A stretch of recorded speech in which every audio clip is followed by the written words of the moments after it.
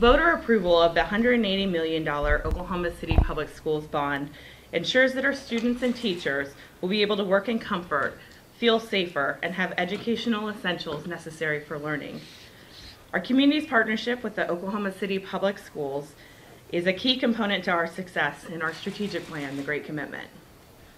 Voters have cleared the way for $106 million for necessary maintenance items, including heating and air conditioning, plumbing, electrical repairs, safety entrances, roof repairs, and playground equipment. We were forced to make deep cuts in fine arts and athletics due to severe budget issues, but we can now address those needs as well. Just over $54 million will upgrade our technology needs, allowing us to replace antiquated systems and giving students and teachers the network they need with better Wi-Fi connectivity, new computers and iPads. Technology is such an important piece for our students and their learning.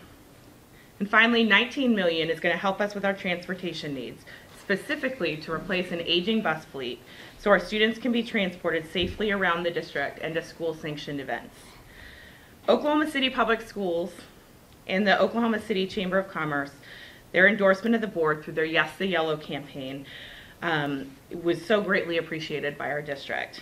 And finally, we're thankful to the community for supporting the bond, for putting students first, and for making sure that they have the best possible educational experience at the Oklahoma City Public Schools.